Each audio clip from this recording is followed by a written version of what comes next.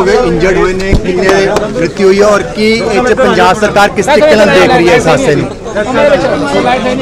ਇੱਕ ਵਾਰੀ ਨਾ ਸਾਈਡਿੰਗ ਗੱਲ ਰੋਹਿਤ ਮੈਂ ਪਹਿਲਾਂ ਕਿਹਾ ਸੀ ਨਾ ਲੋਗੋ ਲੈ ਲਈ ਸਾਰੇ। ਇੱਕ ਇੱਕ ਬਹੁਤ ਹੀ ਦਰਦਨਾਕ ਹਾਦਸਾ ਜਿਹੜਾ ਭਾਈ ਮੂੰਹ ਮੇ ਕਢਾ ਦੇ ਥੋੜਾ ਪਿੱਛੇ ਰੱਖੋ। ਗੈਸ ਨਿਕਲਦਾ ਜਿਹਦੇ ਨਾਲ ਕਿਉਂ ਖੜਕਾ ਕਰੀ ਜਾਂਦੇ ਪਿਆ ਜੀ ਜੀ ਜੀ ਸਰ। ਬਹੁਤ ਦਰਦਨਾਕ ਹਾਦਸਾ ਹੋਇਆ ਜੀ ਇਹ ਜਿਹੜਾ ਦੁਰਘਟਨਾ ਹੋਈ ਹੈ ਜਿਹਦੇ ਨਾਲ 11 ਮੌਤਾਂ ਜਿਹੜੀਆਂ ਹੁਣ ਤੱਕ ਹੋ ਚੁੱਕੀਆਂ ਜਿਹਦੇ ਚੋਂ ਮੈਂ ਦੇਖ ਰਿਹਾ ਸੀਗਾ ਉਹਨਾਂ ਦੇ ਏਜ ਤਿੰਨ ਤਾਂ ਬੱਚੇ ਆ ਜੀ ਮੇਲ ਔਰ ਬਾਕੀ ਚਾਰ ਮੇਲ ਔਰ ਜਿਹੜੇ ਚਾਰ ਔਰਤਾਂ। ਔਰ ਉਹਨਾਂ ਦੀ ਮੌਤ ਹੋਈ ਹੈ ਔਰ ਜਿਹੜੇ ਬਾਕੀ ਦੇ ਹਸਪਤਾਲ 'ਚ ਦਾਖਲ ਆ ਉਹਨਾਂ ਦੀ ਹਾਲਤ ਠੀਕ ਹੈਗੀ ਆ ਸਾਰੇ ਕਿੰਨੇ ਦਾਖਲ ਹੈ ਹੁਣ ਟੋਟਲ ਮੇਰੇ ਖਿਆਲ 8 ਬੰਦੇ। 8 ਜਾਂ ਟੋਟਲ ਚਾਰ ਪੇਸ਼ੈਂਟ ਹੈ 4 ਸਿਕ ਪੇਸ਼ੈਂਟਸ ਨੇ 11 ਗਿਆਰਾਂ ਐਡਵਰਟ ਵਿੱਚ ਚਾਰ ਸਿੱਖ ਪੇਸ਼ੈਂਟਸ ਆ ਜਿਹੜੇ ਹੁਣ ਇਸ ਵੇਲੇ ਦਾਖਲ ਹੈ ਡਾਕਟਰ ਸਾਹਿਬ ਕਾਰਨ ਪਤਾ ਲੱਗਾ ਕਿ ਕਿਸ ਵਜ੍ਹਾ ਸੇ ਗੈਸ ਕੌਣ ਸੀ ਗੈਸ ਸੀ? ਉਹ ਜ਼ਿਲ੍ਹਾ ਪ੍ਰਸ਼ਾਸਨ ਸਾਰਾ ਕਰ ਰਿਹਾ ਹੈਗਾ ਜੀ। ਮੈਨੂੰ ਖੁਦ ਇੱਕ ਡਾਕਟਰ ਹੋਣ ਦੇ ਨਾਤੇ ਬੜੀ ਹੈਰਾਨੀ ਹੈ ਵੀ ਇਹੋ ਜਿਹੀ ਕਿਹੜੀ ਗੈਸ ਹੈ ਜਿਹਦੇ ਨਾਲ ਇੰਨੀਆਂ ਜ਼ਿਆਦਾ ਮੌਤਾਂ। ਕਿਉਂਕਿ ਜਿਹੜੀ ਕੋਈ ਸੀਵਰੇਜ ਦੀ ਗੈਸ ਹੈ ਜਾਂ ਦੂਜੀ ਗੈਸ ਹੈ ਉਹਦੇ ਨਾਲ ਜ਼ਮੀਨ ਦੇ ਉੱਪਰ ਮੌਤ ਨਹੀਂ ਹੁੰਦੀ ਉਹਦੇ ਨਾਲ। ਤੇ ਇਹ ਦੇਖਦੇ ਆ ਜੀ ਕਿਹੜੀ ਗੈਸ ਹੈ ਜਿਹੜੀ ਇੰਨੀ ਟੌਕਸਿਕ ਹੈਗੀ ਆ ਜਿਹਦੇ ਨਾਲ ਇਨਸਟੈਂਟ ਡੈਥ ਹੋਈ ਹੈ ਕਿ ਜਦੋਂ ਇੱਥੇ ਆਇਆ ਉਹ ਡੈੱਡ ਬੋਡੀਜ਼ ਹੀ ਆਈਆਂ ਉਹਨਾਂ ਦੀਆਂ। ਤੇ ਉਹਨਾਂ ਦੀ ਮੌਤ ਹੋ ਚੁੱਕੀ ਸੀਗੀ। ਇਹ ਕੋਈ ਬੜੀ ਖਤਰਨਾਕ ਗੈਸ ਹੈ। ਦੇਖਦੇ ਹਾਂ ਕਿਹੜੀ ਗੈਸ ਹੈ। ਉਹਦੀ ਇਨਵੈਸਟੀਗੇਸ਼ਨ ਚੱਲ ਸਰ ਰਹੀ ਹੈ। ਸਵੇਰੇ 6 ਵਜੇ ਤੋਂ ਲੈ ਕੇ ਹੁਣ 2 ਵਜਣ ਤੇ ਆ ਗਿਆ।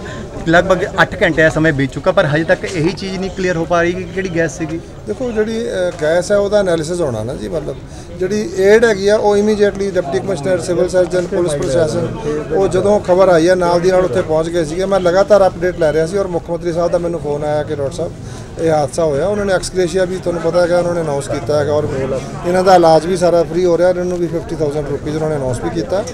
ਔਰ ਉਹਨਾਂ ਨੇ ਤੁਹਾਡੇ ਸਾਡੇ ਐਮਐਲਏ ਸਾਹਿਬਾਨ ਸਾਰੇ ਇਨ ਟੱਚ ਹੈ ਇਹ ਉਦੋਂ ਦੇ ਨਾਲ ਦੀ ਨਾਲ ਸਾਰੇ ਉੱਥੇ ਪਹੁੰਚ ਗਏ ਸੀਗੇ ਜੀ। ਜਿਹੜੀ ਗੈਸ ਦਾ ਐਨਾਲਿਸਿਸ ਕਰਨਾ ਹੈਗਾ ਉਹ ਕਈ ਵਾਰੀ ਸਾਨੂੰ ਸੈਂਪਲ ਬਾਹਰ ਵੀ ਭੇਜ ਕੇ ਕਨਫਰਮ ਕਰਨਾ ਪੈਂਦਾ ਹੈਗਾ ਉਹ ਦੱਸ ਦਾਂਗੇ ਜੀ ਸਾਰਾ ਤੁਹਾਨੂੰ ਜਿਹੜਾ ਉਹਦਾ ਐਨਾਲਿਸਿਸ ਸਾਰੀ ਸਟ੍ਰੈਟਜੀ ਨੇ ਸਰ ਕਿੰਨੀ ਰਾਸ਼ੀ ਇੱਕ ਇੱਕ ਬੰਦਾ ਇੱਕ ਬੰਦਾ बात जो कर रहे हैं रुक जा ਇਹ ਇਹ ਕਹਿਣਾ ਮੁਸ਼ਕਲ ਹੈ ਜੀ ਫੈਕਟਰੀ ਦਾ ਉੱਥੇ ਮੇਰੇ ਖਿਆਲ ਦੁੱਧ ਦਾ ਹੈਗਾ ਫੈਕਟਰੀ ਕੋ ਹੈ ਨਹੀਂ ਗੀ ਉਹਦੇ ਚ ਨਾ ਜਿੱਥੇ ਹੋਇਆ ਹਾਦਸਾ ਮੈਂ ਜਾਣਾ ਜੀ ਸਾਈਡ ਤੇ ਅਜੇ लेकिन गैस सर कौन सी गैस थी क्योंकि इतनी गैस कहाँ दूध वाली दुकान पे नहीं आ सकती है किसी में नहीं आ सकती लगता है कि कहीं फैक्ट्री के पास ਅਜੇ ਮੈਂ ਨਾ ਕੁਝ ਗੈਸ ਕਰਨ ਦੀ ਲੋੜ ਨਹੀਂ ਆਪਾਂ ਸਾਰੀ ਇਨਵੈਸਟੀਗੇਸ਼ਨ ਚੱਲ ਰਹੀ ਹੈ ਸਾਰਾ ਸੱਚ ਤੁਹਾਨੂੰ ਅੱਜ ਜਾਂ ਕੱਲ ਤੱਕ ਪਤਾ ਚੱਲ ਜਾਏਗਾ। ਸਰ ਕਿੰਨੀ ਰਾਸ਼ੀ ਕਿੰਨੀ ਰਾਸ਼ੀ ਐਲਾਨੀ ਗਈ ਹੈ ਪੰਜਾਬ ਸਰਕਾਰ ਵੱਲੋਂ? ਬਤਾ ਦਿਓ 11 2 ਲੱਖ ਰੁਪਏ ਜਿਹੜਿਆਂ ਦੀ ਮੌਤ ਹੋ ਗਈ ਉਹਨਾਂ ਦੇ ਪਰਿਵਾਰਾਂ ਵਾਸਤੇ ਜੀ ਔਰ 50000 ਰੁਪਏ ਜਿਹੜੇ ਦਾਖਲ ਆ ਉਹਨਾਂ ਵਾਸਤੇ। ਠੀਕ ਹੈ। ਸਰ ਇੱਕ ਡਾਕਟਰ ਦਾ ਪੂਰਾ ਪਰਿਵਾਰ ਖਤਮ ਹੋ ਗਿਆ ਸਰ। ਪੰਜ ਦੇ ਪੰਜ ਜੀ ਖਤਮ ਹੋ ਗਏ ਨੇ ਇੱਕ ਡਾਕਟਰ ਦੇ। ਔਰ ਤੁਸੀਂ ਬਤੌਰ ਡਾਕਟਰ ਹੋ।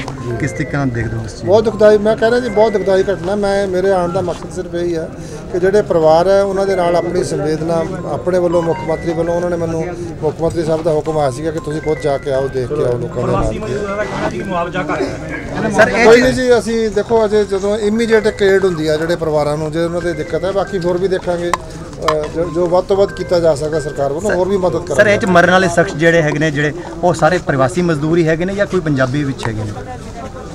ਲੋਕਲ ਹੈਗਾ ਜੀ ਕਾਫੀ ਸਾਲਾਂ ਤੋਂ ਇੱਥੇ ਸੈਟਲ ਲੋਕਲ ਵੀ ਸੀਗੇ ਜੀ ਵਿੱਚੋਂ ਤੇ ਲੋਕਲ ਲੇਬਰ ਜਿਹੜੀ ਸੀ ਨਾ ਲੇਬਰ। ਸੀਗੇ ਸਾਰੇ ਜੀ। ਕਿਉਂਕਿ ਮੈਂ ਅਜੇ ਆਇਆ ਮੈਂ ਅਜੇ ਸਾਈਟ ਤੇ ਜਾਣਾ ਜੀ ਮੈਂ ਉਹਨਾਂ ਦੇ ਪਰਿਵਾਰਾਂ ਨੂੰ ਮਿਲਣਾ ਹੈ। ਮੈਨੂੰ ਉਹ ਵਾਲੀ ਜਿਹੜੀ ਜਾਣਕਾਰੀ ਆ ਉਹ ਸਾਡੇ ਐਮਐਲਏ ਸਾਹਿਬ ਤੋਂ ਤੁਸੀਂ ਪੁੱਛ ਸਕਦੇ ਹੋ। Thank you sir